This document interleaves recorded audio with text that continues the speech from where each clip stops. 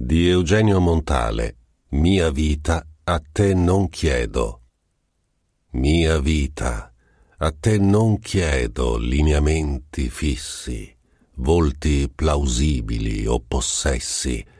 Nel tuo giro inquieto ormai lo stesso sapore han miele e assenzio.